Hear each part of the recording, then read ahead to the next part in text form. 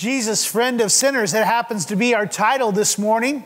As we open up the book of Luke, the Gospel of Luke, it has been some time since we've been in this Gospel, but we are making our way through it. Today is the 90th week that we have been in Luke's Gospel, and we've made it up to chapter 15. So that's where we are this morning, Luke 15, 1 through 10, as we talk about Jesus is a friend of sinners. Now, as you're turning to Luke chapter 15, I want you to think about this. How would you feel if the most hated person in the world, or the most hated or despised person throughout history, sat next to you in a restaurant? How would you feel?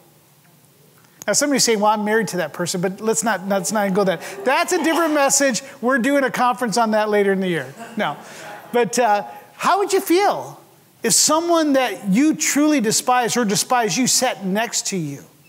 I mean, most many of us would might just maybe whisper, talk among yourselves. Maybe you might set up and ask for another table. Or If they were taking you near that table, say, "Well, I, I, I don't want to sit there." I mean, that would be something that we would just say, "Well, I don't know how I would feel if it was, was a Hitler or some political enemy or culture warrior that we just didn't care for."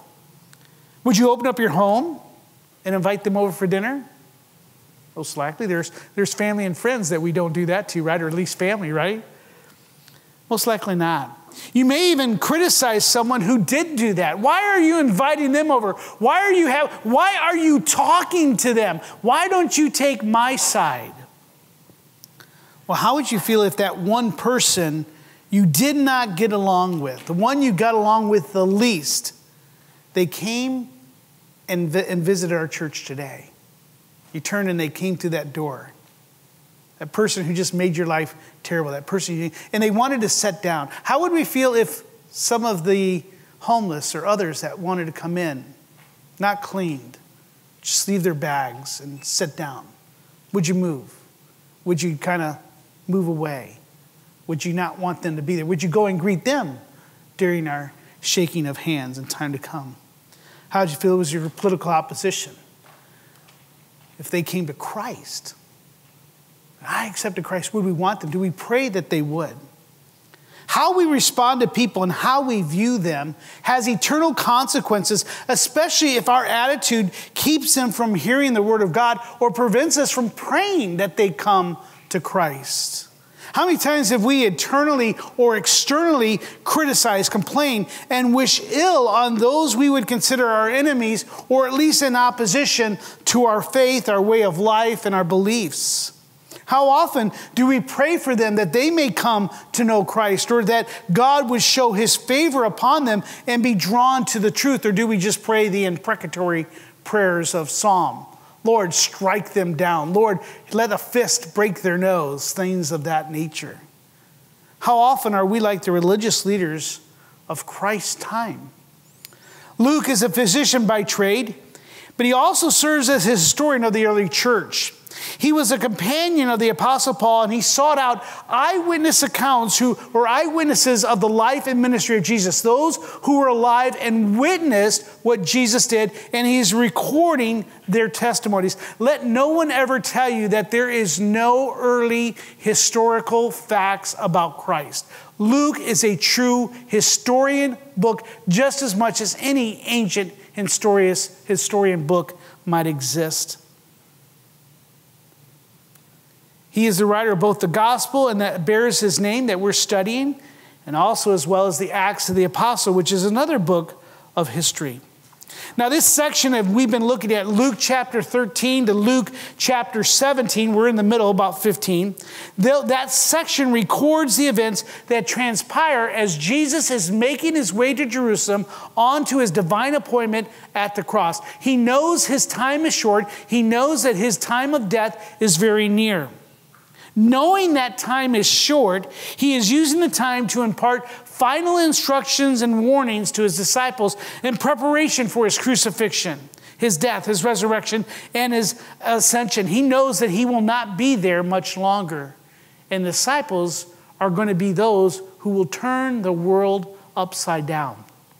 So he's preparing them with last instructions, encouragements, and warnings. And here's the thing that we've learned as we've been studying this. When he's talking about what is a disciple, and that's how we ended last, uh, last uh, what was it, May or June when we finished up Luke 14 is that Jesus demands an uncompromising commitment. I want you to write this down if you haven't gotten it. Jesus demands an uncompromising commitment for those who choose to follow him. We've seen that, right? Whoever follows me must uh, deny himself, take up his cross, and follow me. Now, in our passage today, we find that the religious leaders are once again complaining and criticizing Jesus and the company he keeps. So, Luke chapter 15, the first part of the verse is going to be here on there. But again, I want you to encourage you to bring your Bibles. If you need one, let me know. I'd love to give, a, give you a copy of God's word. But in Luke chapter 15, we read this Now the tax collectors and sinners were all drawing near to him, speaking of Jesus. The Pharisees and the scribes grumbled, saying, This man receives sinners and eats with them. Father, I pray that you give us your wisdom. I thank you for Luke and his endeavor to capture the eyewitness accounts. The Holy Spirit has preserved this testimony for us even today. It is accurate, it is one that we can rely on. It is a true book of history, but also a true work of Christ and the Spirit together.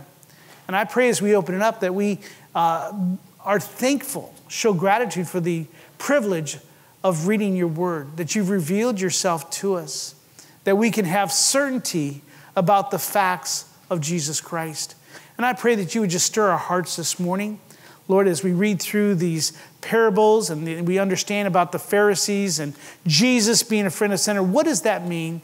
And Father, what does that mean not only to us, but then how does that compel us now for us to live in this day and age? I pray that you give us your wisdom, discernment in your name. Amen. Now, as we've noticed throughout Luke's gospel, Jesus' life and ministry has been attracting the marginalized, the outcast, and the helpless. Anywhere he goes, he is pressed about people that most people would not have anything to do with. The tax collectors were those revenue collectors for the hated and despised Roman government. It's the IRS to you and I. Uh, we, you know, this, this is not a group of people that were endeared uh, by, the, by the Jewish people. While the, while the term sinners was a catch all phrase for the poor, the crippled, the blind, and the lame.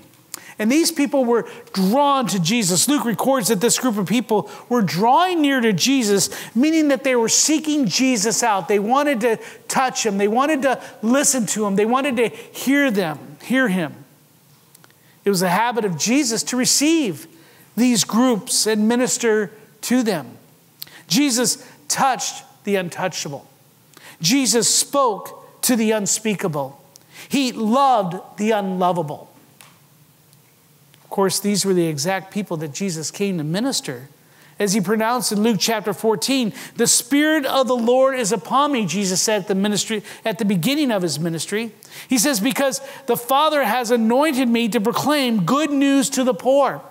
He has sent me to proclaim liberty to the captives and recovering of sight to the blind, to set at liberty those who are oppressed, to proclaim the year of the Lord's favor. However, the religious leaders considered these groups sinful, and guilty of absolute moral failure. They lived in a day that if you were poor, if you were crippled, if you were blind, if life was difficult for you, you deserved it because of your sin. They were deserving of God's punishment for violating God's law. Hence, they were constantly complaining and grumbling and muttering against Jesus because he would receive those that they feel that God had rejected. If you're from God as you say you are, if you are the Messiah, why are you receiving and, and dealing with people that God has utterly rejected? The common complaint about Jesus is found in Matthew chapter 11, verse 19, where it says, The Son of Man came eating and drinking. And they say, Look at him. He's a glutton and a drunkard, a friend of tax collectors and sinners. It doesn't matter if Jesus was with the poor, if he was with the rich, they were always grumbling and complaining that he was receiving those that they felt were undeserving. Now, the Pharisees, just as a reminder, was an influential group of religious leaders who exacted strict demands from the people while exempting themselves from those laws. Does that sound familiar? Seems like we live in a lot of that today. So they would put d- demanding laws on them, but they themselves would not have to follow him. The scribes were a class of learned men who were teachers and experts in the law. They believed, by the way, that this rejection of these sinners and tax collectors, they believed that their grumbling against Jesus had, had biblical merit, as they would follow the advice of Psalms chapter 1 1, where it says, Blessed is the man who walks not in the counsel of the wicked, nor stands in the way of sinners, nor sets in the seat of scoffers. They were just taking God at his word, King David at his word. So for them, they were perfectly right. They had a biblical uh, uh, precedent for it. And they now are questioning Jesus' godliness and the commitment to the law of Moses, as they continually did about the Sabbath, about the washing of hands, so on and so forth. Now, when it says that Jesus received these sinners, to receive means to welcome, to accept, and admit access to. This is what they were grumbling against. And when it says that Jesus ate with them, that was more than you and I just sitting down and having a meal. To that, that by implication, that was meant to associate with someone or to live on familiar terms. Eating together was much more of a big thing than it is today. And this was just too much for them. They could not stand this. This Jesus, this is one of the reasons they rejected him because of this practice. Jesus should have been eating and receiving the religious leaders, the political bigwigs, and the emissaries of the king, not lowly sinners. But of course, we know that Jesus ate and drank with them as well, as we saw earlier in Luke's gospel. But he should not be doing this with lowly sinners. Now, through the writings of Luke and the testimony of these eyewitness accounts, the Holy Spirit is pointing out to us a very big problem of the religious leaders, one that you and I need to be very, very careful to avoid, not to adopt. And that's the self righteous attitude that led to contempt for others, contrary to the law. Remember, the law says to love God and to love our neighbor as ourselves. And, and, they were not doing that, for they were looking down on contempt. Now, you and I have this type of attitude many times with some of the people I just mentioned in our introduction. How many times that we avoid contact, making eye contact, or avoiding someone? Whether it's maybe someone who's in the streets, or someone who's drug addict, or someone who's just in our family, or someone else. Many times we have contempt. And contempt is not an attitude, it's not a hard attitude that anyone should have that professes Christ. We're not to look down on people. In Scripture, grumbling is a sign of a rebellious heart. And this is important for us to understand. For you and I do this very often, muttering and complaining and grumbling. But grumbling is actually a sign, excuse me, of a rebellious heart. We see examples of this in the Old Testament with Israel as they were traveling through the wilderness. Remember those 40 years of, of wandering through the wilderness on their way to the promised land. You see, it says, Your grumbling is not against us, but against whom? Shout it out to me. Lord, we have to realize that. How many times have you grumbled against where you live, the car you drive, the salary you make, the people that God put in your life, your family, your friends? And you and I need to recognize that when you and I are complaining and muttering, we are not complaining and muttering against our circumstances and about things outside our control. We are actually uh, complaining against uh, God, Yahweh, who is providential and sovereign over all areas of our lives. But how often have we done that? How much, how many times have we grumbled and complained about our spouse? Because they haven't met the expectations that we have. How many times have we done that about our children? Maybe we've even done it about ourselves. If I was taller, if I had more hair. Does that sound personal to you? Maybe. But we need to understand that. That's why Paul says, do all things with what? Without grumbling or disputing.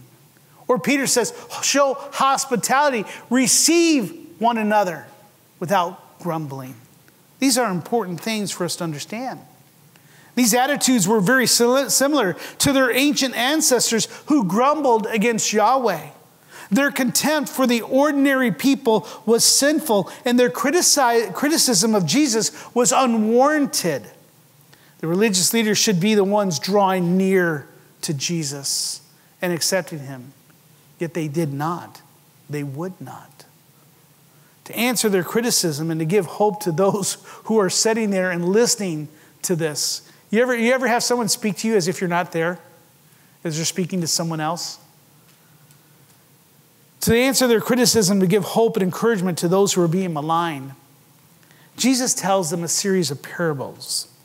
And in these parables, we find the solution to this hard hearted, rebellious, and sinful attitude of contempt, of grumbling and complaining. A parable is simply an earthly story, usually about normal things in life that have a heavenly meaning, a spiritual truth. Jesus would use them to teach people about the kingdom of God. The kingdom of God is like.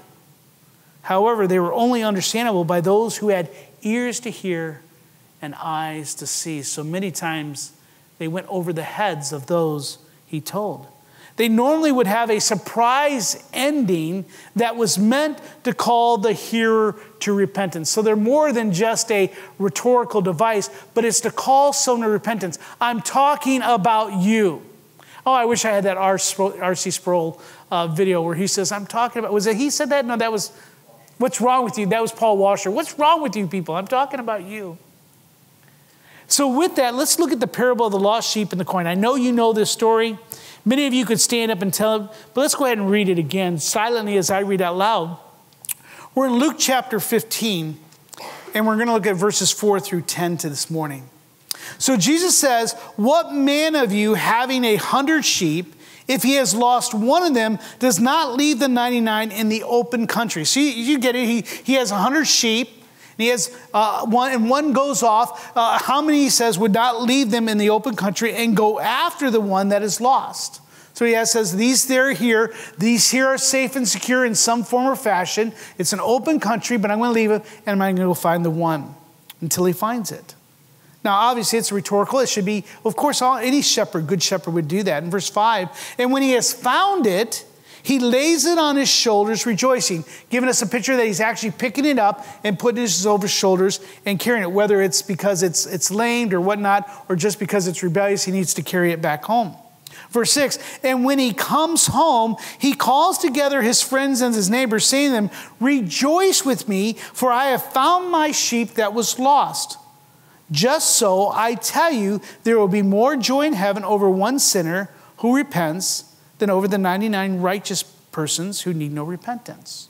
But then he goes on and tells another one in verse 8. Or what about that woman who having 10 silver coins? Now, one coin was about worth one day's wages. So whatever you make in a day, it's about a day's wages.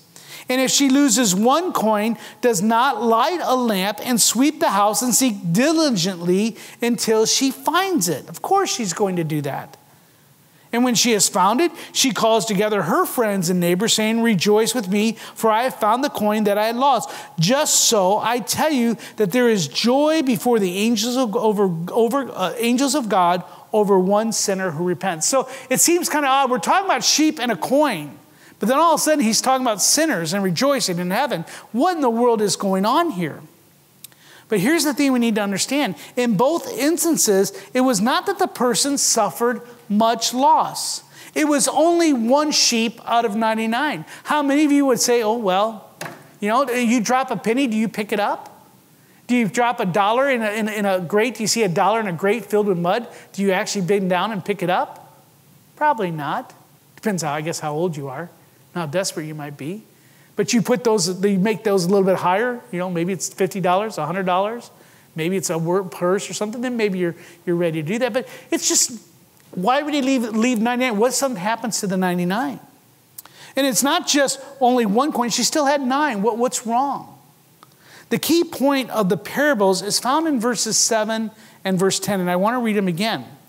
He says, There will be more joy in heaven over one sinner who repents than over 99 righteous persons who need no repentance. And then verse 10 I tell you, there is joy before the angels of God over one sinner who repents. So Jesus here is talking more than about a sheep and a coin and it being found. They represent something much greater. The theme or the point of this parable, if you're taking notes, is that you and I should respond with joy.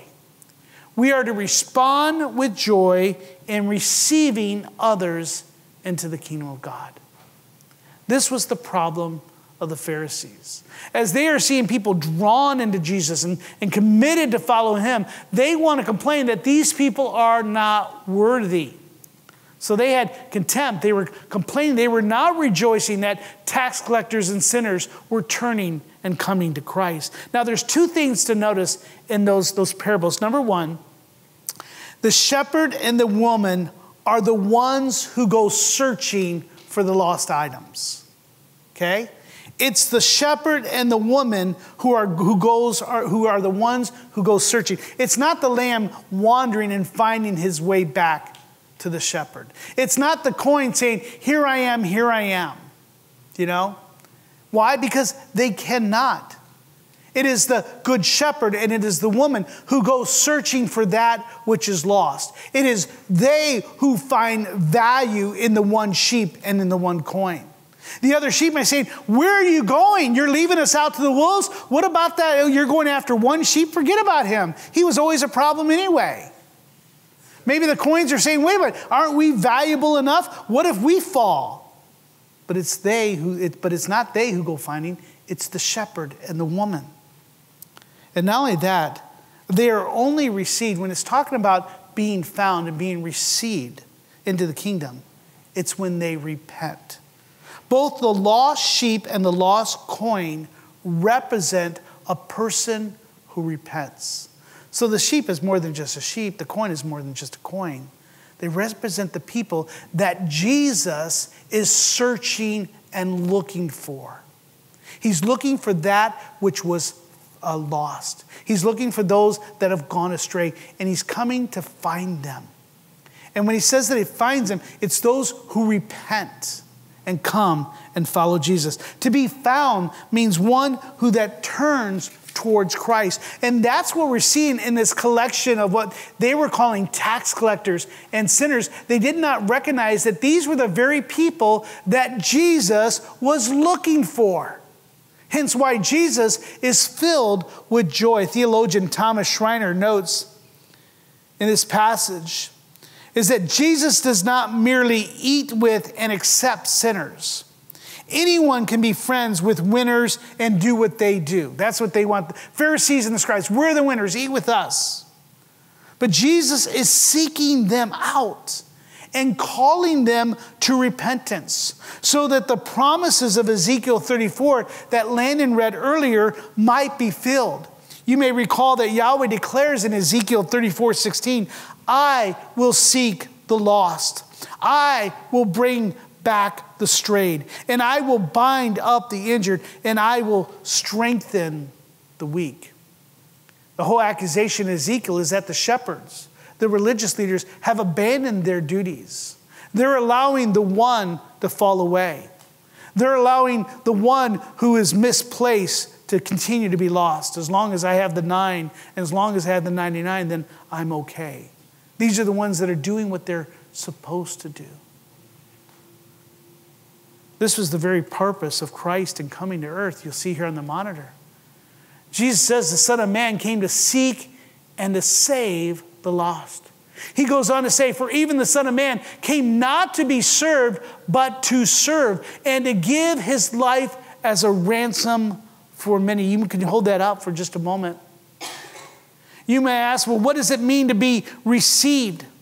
Jesus is teaching, as we see these passages, that even those considered the worst of all sinners are received through the mercy and grace found through their acceptance of Jesus Christ.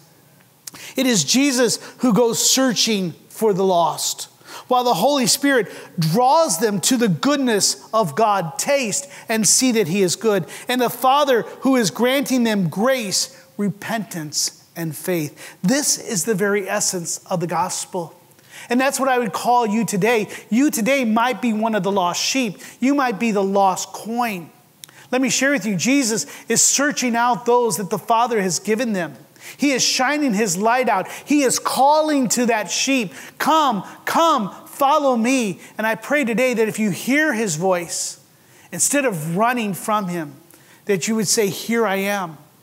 That your desire is to be found, to recognize that you are lost and that you need a Savior, and that you repent from your dead works. And what do I mean by that? Repentance from dead works means that you understand that you cannot be made right with God.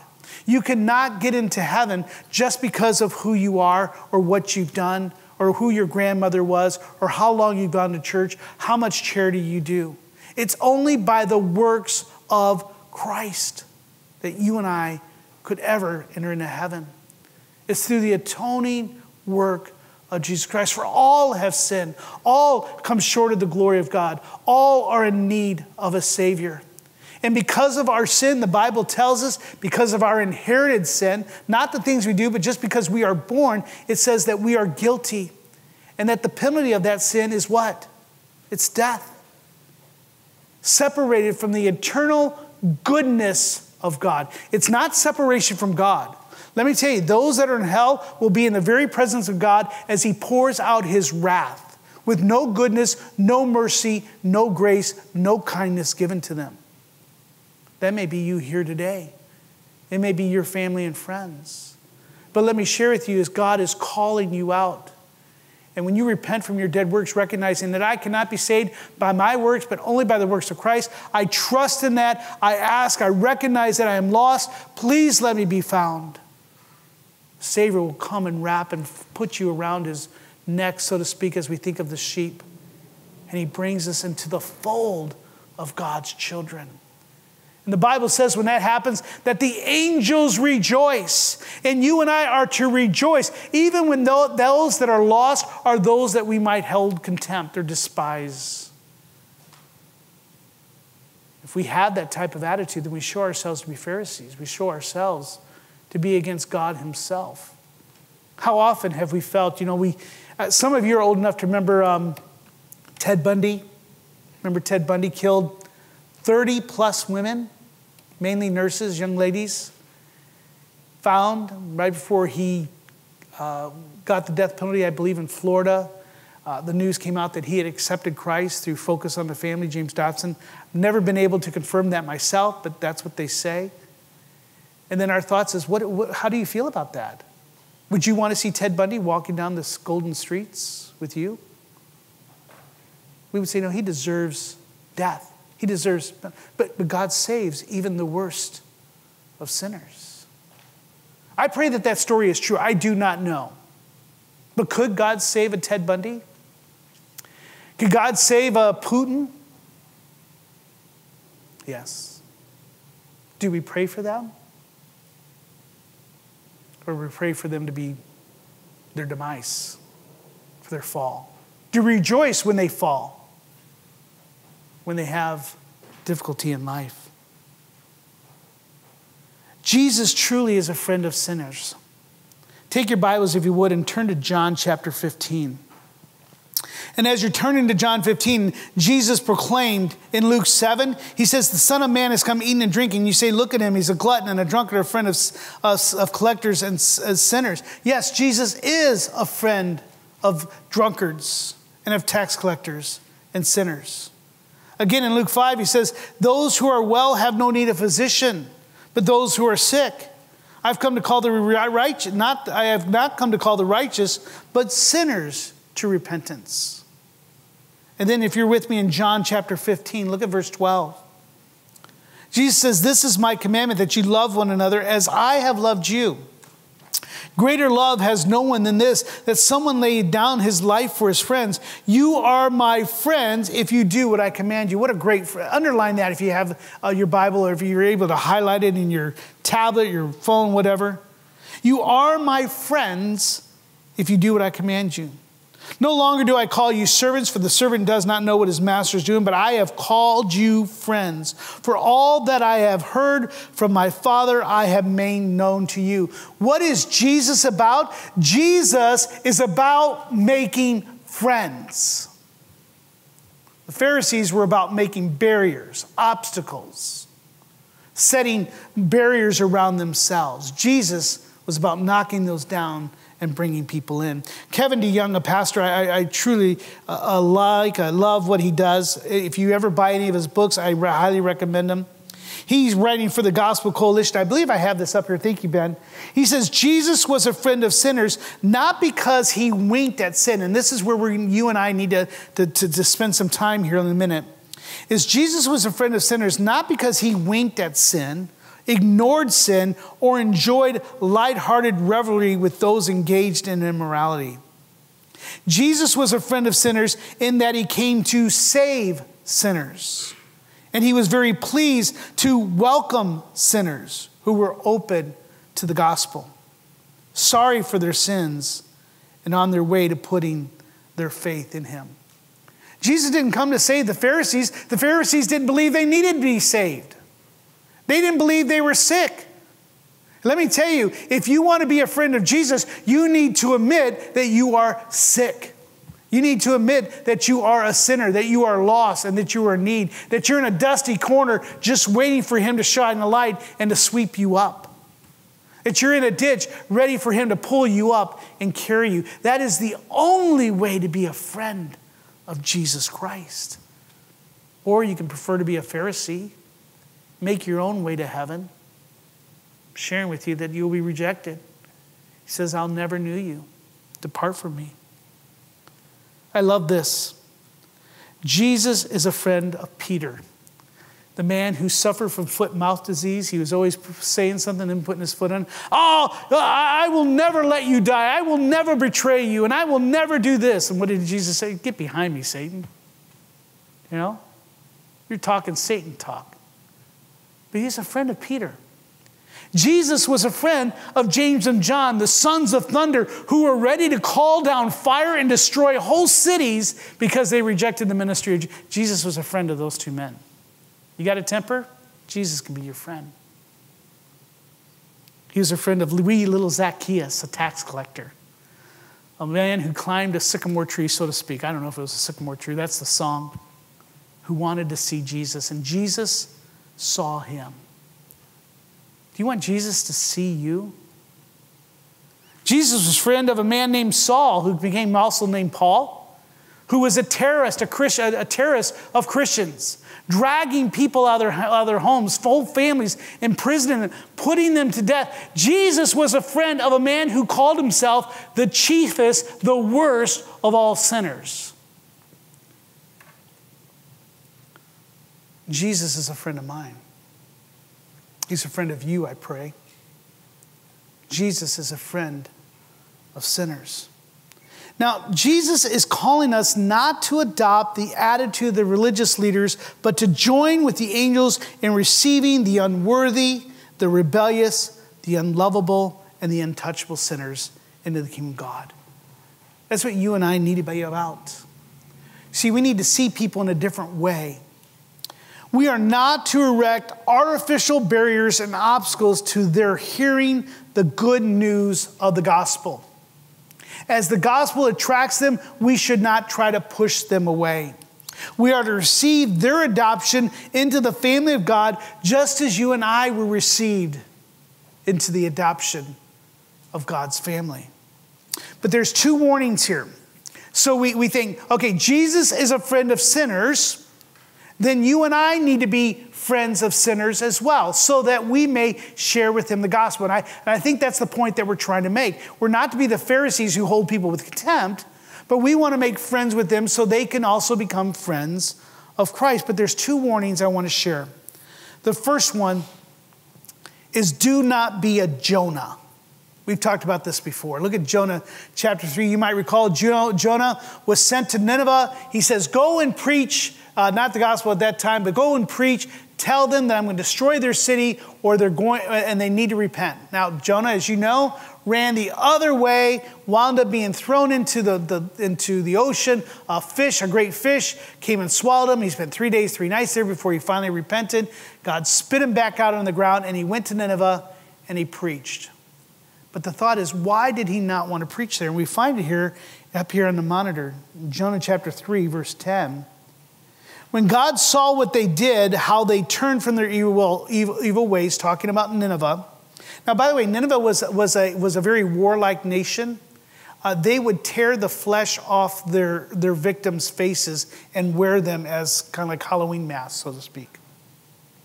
God relented of the disaster that he said he would do to them, and he did not do it. So he didn't destroy them.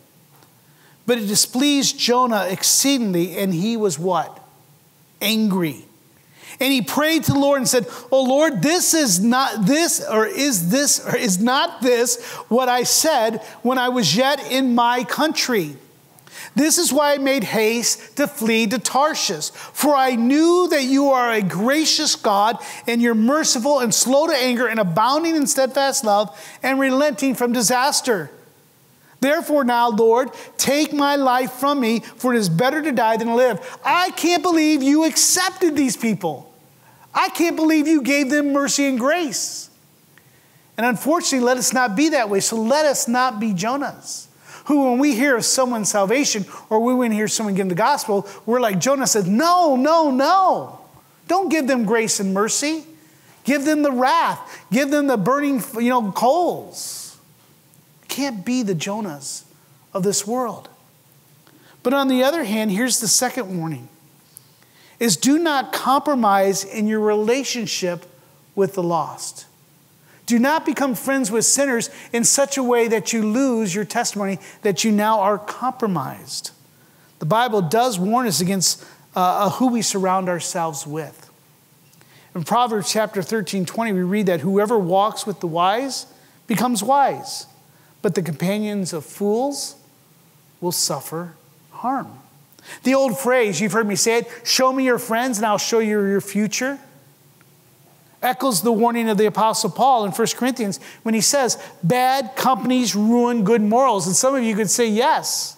I come from a good family, but I, I, I hung around with people in the neighborhood that led me the wrong way. And, and so we understand that. And then we see in 2 Corinthians chapter 6 where Paul warns this do not be unequally yoked with unbelievers. For what partnership has righteousness with lawlessness? What fellowship has light with darkness? What accord has Christ with Belial? That's Satan. Or what portion does a believer share with an unbeliever? What agreement has the temple of God with idols? For we are the temple of the living God, as God said. I will make my dwelling among them and walk among them. And I will be their God, and they shall be my people. We're, we're especially, we're, we're the body of Christ. In verse 17, he says, Therefore, because of this, go out from their midst and be separate from them, says the Lord and touch no unclean. Then I will welcome you, and I will be a father to you, and, and you shall be sons and daughters to me, says the Lord Almighty. So the, the Pharisees would probably agree with that, but yet the Bible does call us to still, we are to be friends of sinners as Jesus is. We are to interact with those around us. Some of them are our spouses, some of them are our family members, our children, and our friends, and, and so on and so forth, our coworkers, our neighbors. So, what does it mean to be a friend of sinner? Of sinners. Let me tell you, we must be careful that we guard our hearts so that, we, that, so that our friendships and relationships do not lead us to compromise our commitment to Christ. Remember, he's asking for uncompromising commitment. However, we have seen many are, are, are compromising their commitment to God, to his word, Sin has made inroads in the hearts of those who profess Christ and the believers and the institution of the church itself. Is when, when we they demand these things from us. First, the people that we have friends with will say, Well, you need to allow mine. I'm going to use the example of just the uh, LGBT stuff that's going on. Is you need to allow our behavior, you need to allow it. And that's not enough just to allow it. So let's make laws. Let's, let's allow it to happen. And so many of us say, okay, well, let's live and let live, right? So, you know what? If it doesn't affect me, that's all right. They can have their marriage and it doesn't affect my marriage, which we're seeing that it actually is now today. So that's okay. So, what if in the school library they have those types of books that are really pornography books? Just allow it. I just will keep my kids from watching it, looking at it. But see, that's not enough. Because when we're hanging with our friends, we say, Well, I like this person. We're in groups together. We're, we do these hobbies together. And so, I, I you know, they, I, I'm going to allow them to do that. I'm not going to stop them from doing that. I'm going to allow them. But see, the next step is not only to allow, they want you then to accept their behavior, their attitudes, and their beliefs. And so now you need to accept it. Okay, well, I guess it's, I just won't tell them that it's sin. I won't, I won't tell them it's wrong. But then we go on where they say it's not only do you need to allow and accept, but you need to approve of my behavior. We need laws, we need protections. You need to approve on your side. You need to let me know that you're an ally of mine. I need to see your pronouns. You need to speak it. I need to understand it. You need to approve it. But then it goes on, then you not only need to prove it, but I need you to affirm it. I need you to say that this is good.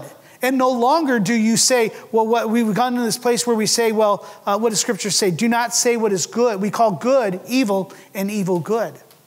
And so now we're now affirming their lifestyle and their choices. And then the next thing is we're advancing it. And this is what's happened in many families. Some of you are seeing this.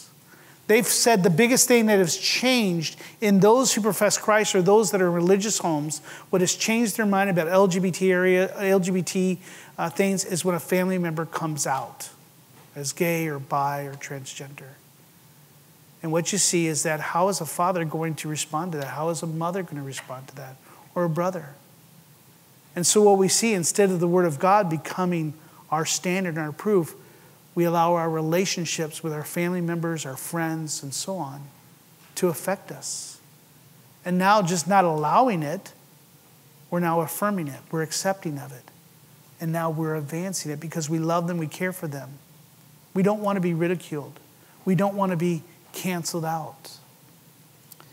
Many people and families are struggling with this today because they have loved ones and friends that advocate for lifestyles that are leading them straight into hell and we're supposed to be silent. We're not sweeping the corners. We're not lighting a lamp looking for the lost coin. We're no longer acting as shepherds of God looking for that lost sheep. Unfortunately, those who profess Christ many times value the status quo of their relationship rather than suffer any ridicule or rejection for confronting sin. The world has trained us well. Be silent and stay in your place. Never confront sin. Never share with anyone that how they believe is wrong. For it is their truth. And if it goes against your truth, you're the one who needs to compromise. That's now been not only advocated, in almost every media, social media, media in the large. But now we're finding it codified in our laws. We find it codified in our workplaces to where you must not only accept it, but you must advance it. But let me share with you as this last word on this point. If we're going to be the friends of sinners as Jesus was in receiving and eating with those that are under God's wrath, we cannot lose our light as God has called us to be light. We cannot lose our salt, our saltiness, as He's called us the salt of the earth. We cannot lose our fragrance as we are the aroma of Christ in order to gain friends and influence. See, you're going to have to be called into account one day. And my friend, you need to make a stand. And that is going to cause ripples in your life and in your friendships and your families. It's going to cost you something. But that's why Jesus calls for an uncompromising commitment. We can neither be Pharisees who look on contempt on those who are undeserving, or we would consider undeserving. But we also cannot be such friends of sinners that we no longer are any salt or light and we lose our testimony and we're not calling them to Christ. And so there's a balance that you and I must face to be a friend of sinners as Jesus was a friend of sinners. So let me get to this and we'll close. There are three things I want us to consider this morning of how we can be friends of sinners. And I want you to write these down if you're taking notes. If you could be friends of sinners, drawing them to Christ, praying that they, be found, that they are found as they repent of their sins and turn to follow Christ, these three things, very simple. You need a compassion for the lost. You need to see your lost friend, family member, not as just someone you value, which they are, but they're also made in the image of God, but they're also lost. We need to recognize that their mind is actually hostile to the things of God. They are children of disobedience. The Bible says that they're objects of wrath. We need to recognize that they are blinded by the God of this world, speaking of Satan.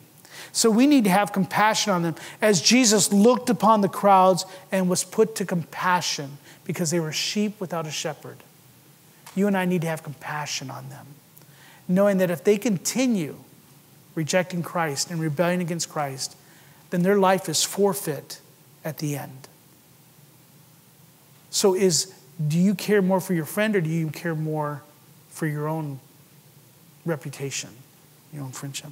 Number two is you need to pray for God to give you the courage to confront. This is very difficult. Some of you had to do this before. It's that time for intervention. Now, I'm not saying that, hey, listen, my friend, you need to turn and burn right now or turn or burn right now. It's, it's developing that friendship, that, that commitment to share with them the gospel to give them a new way of looking and leave, to pray for them, to care for them, to invite them to church, to, to share with them. Listen, what you're doing, this, this behavior is wrong. It will lead you in the wrong direction. We need courage to confront those that we care about. And thirdly, we need to celebrate and rejoice. And I think that's something that we miss. I think we need to have more celebration and rejoicing when people do repent and come to Christ. We need to make a big deal about it. We need, we need to bring them in. And, and even when we hear it's someone that we don't care for, we need to celebrate and rejoice. Why? Because someone who was lost is now found. Someone who was an enemy of God has now become a friend of Christ. Why? Because you and I were once enemies of Christ ourselves. But now we're found, and now we're friends of Jesus Christ. Let me close with this verse, Revelation 22 17. I believe it's here on the monitor. The Spirit and the bride say, Come. That's what you and I need to say, Come. It says that the one who hears say, Come. And let the one who is thirsty come. Let the one who desires take the water of life without price. That's what you and I are doing. We're just carriers of buckets of water and say, Do you want to drink? Taste and see that God is good. Let us be friends of sinners that draw them to Christ, rejoicing when they come to repentance. Let us do that and let us glorify God in that, praying for our friends in that way. Their head bowed and every closed as Randy comes up and the worship team. I just want to take a moment just to pause and consider these parables. The attitude and the heart of the Pharisees and just how awful it is but seeing that God loves us and He gives us His grace and kindness. So let's consider that this morning. Let's give thanks that once we who were lost, God has now found. Those of us who were once enemies are now friends of Christ.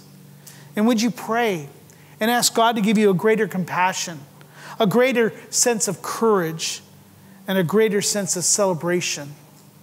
So that we may respond in the right way that the Holy Spirit is working. Would you do so this morning? Randy, would you come and close us in prayer? We hope you enjoyed this episode of Walking in Faith. We encourage you to share this with others. If you have any questions or comments, please visit us online or email us at info at orangevilla.org. Till next time, may God bless you in everything you do.